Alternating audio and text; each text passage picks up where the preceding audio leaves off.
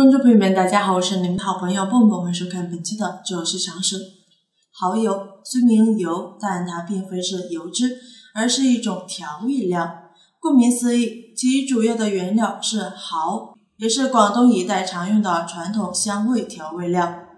蚝素有海底牛奶之称，蚝油则是以鲜蚝熬成的汤，经煮熟后取其汁，再浓缩，再加辅料精制而成。蚝油味道鲜甜浓郁，粘稠适度，且散发蚝香，是传统粤菜的主要调味料。蚝油是鲜美的调味料，适宜用来蒸、煮、炒、烩、焖、红烧、溜和扣类等烹调方式。在食材方面，肉类和海鲜类搭配蚝油是一绝，尤其可以提升海鲜的香味儿以及红烧菜肴的味道。蚝油使用小禁忌。一炖汤或油炸等食物不宜加入蚝油，因为加入蚝油会破坏油炸类的原味或是汤类的味道。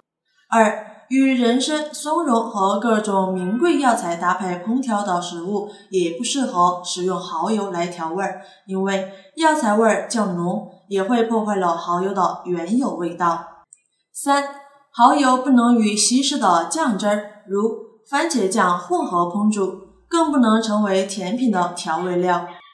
四、蚝油也不能与辛辣的调味料醋和糖一起搭配，因为这些调味料都会掩盖蚝油的鲜甜味儿及有损其特殊的风味儿。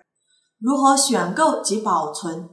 一、优质蚝油要有鲜明的光泽，不发乌，呈红褐色至棕褐色，稀糊状，无渣粒杂质。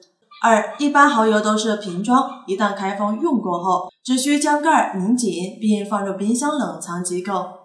烹调小秘诀：一，用在调味时，蚝油若在锅里煮太久，会失去香味，并使蚝香味逃逸。一般建议在菜肴即将出锅前，或是在出锅后，趁热立即加入蚝油调味为宜。红烧时就不可以先放蚝油，不然它会比较容易粘锅。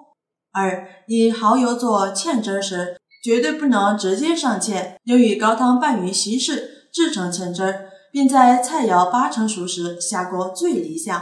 好了，朋友们，感谢关注，这是常识，了解更多常识，咱们下期节目再见。